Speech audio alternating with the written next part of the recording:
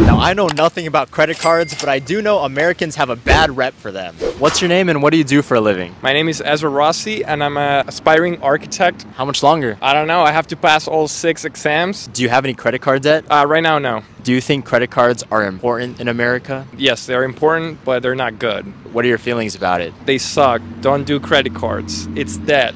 You don't want debt. You should be able to do a budget and pay for the stuff you need. Most people we talk to, they justify it with like, I need a good credit score to get certain loans. What do you think about that? If you get money, you don't need a credit score. Money is what you need, not debt. Appreciate it, sir. You listen to Papa Dave?